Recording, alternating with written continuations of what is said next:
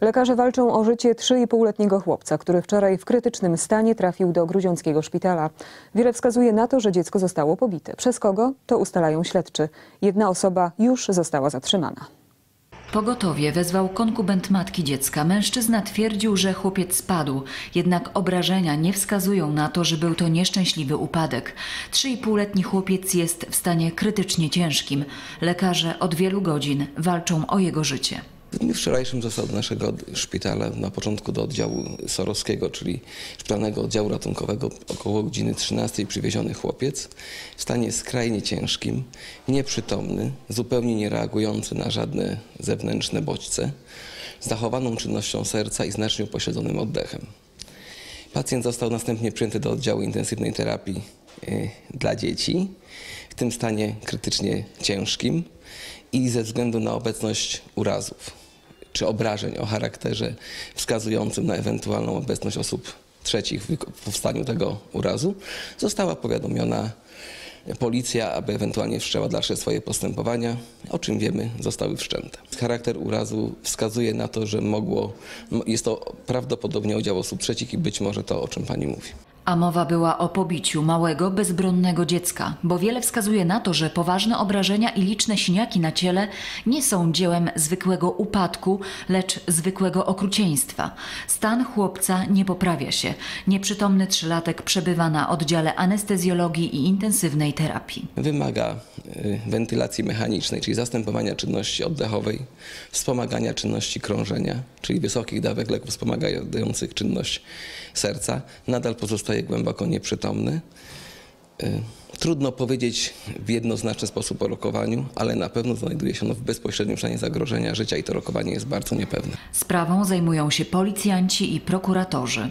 W tej chwili ustalamy przebieg zdarzenia, czy rzeczywiście, czy dziecko y, trafiło do szpitala y, z obrażeniami ciała, które są wynikiem pobicia, czy był to nieszczęśliwy wypadek. Y, na, w sprawie został zatrzymana, została zatrzymana jedna osoba, y, natomiast w tej chwili jeszcze jej status w sprawie jest niejasny. Nie wiemy, czy ona będzie świadkiem, czy podejrzanym. Tak jak powiedziałem, na razie staramy się ustalić przebieg zdarzenia. Lekarze, którzy przyjęli dziecko, y, rzeczywiście wyrazili swoje obawy, że są to y, ślady pobicia, natomiast w sprawie został powołany biegły z zakresu medycyny sądowej, który wyda szczegółową opinię w tej sprawie. Sprawa jest rozwojowa. Policjanci zatrzymali konkubenta matki dziecka. Konkubent to gruźnodzianin w wieku 30 lat, y, wcześniej notowany za drobne przestępstwa, natomiast nie za przestępstwa z użyciem przemocy. Trzy i półletni chłopiec pochodzi z wielodzietnej rodziny. 31-letnia matka sama wychowuje siedmioro dzieci. Dziś mieszkańcy kamienicy przy ulicy Droga Łąkowa nie mogą uwierzyć w to, co się stało. W sumie y, ten ojciec tam tych dzieci zostały tutaj z nią, nie? I te dzieci nie były za bardzo ubrane, brudne, chodzi po podwórku.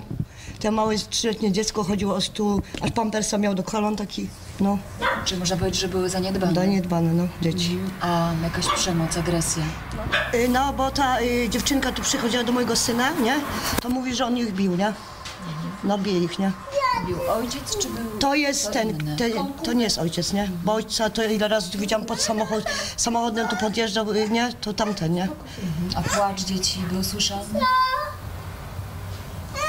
Nie, czyli były zaniedbane? Zaniedbane, nie? I bite, nie? Tu ta dziewczynka przychodziła do Ksawiera, ta e, Oliwia, nie? To mówi, że on ich bije, nie? Nie ojciec, bo ten ma zakaz zbliżania do rodziny, bowiem znęcał się nad nimi fizycznie i psychicznie. Od dwóch lat kobieta mieszka sama. Od września, w związku z zaniedbaniami opiekuńczo-wychowawczymi, ma wsparcie z MOPR-u. Rodzinie pomaga asystent. Wcześniej miałyśmy też zgłoszenia ze środowiska tutaj od mm, sąsiadki. E, To miało miejsce w zeszłym roku. E, I rodzina też była objęta takim stałym monitoringiem ze strony naszego ośrodka.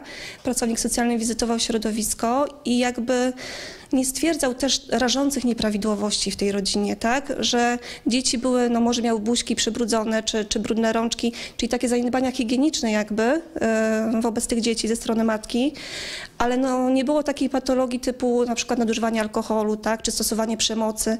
A wiele wskazuje na to, że przemoc była w tej rodzinie. Dziś prowadzone są czynności w sprawie spowodowania uszkodzeń ciała dziecka. Ten pan, który, wobec którego no, jest postawiony zarzut, e, to było osoba, to była osoba, która jakby nie sprawowała też tej opieki nad tymi dziećmi bezpośrednio. To, ta osoba nie przebywała w tym lokalu.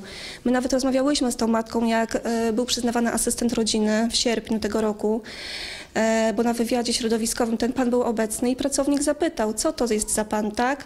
Żeby no, chciała wylegitymować tego pana z imienia, z nazwiska. Pani odmówiła, złożyła oświadczenie, że ona nie poda danych osobowych tego pana. Ten pan nie zamieszkuje, złożyła oświadczenie, że nie zamieszkuje, a pani jest sama tylko z tą siódemką dzieci.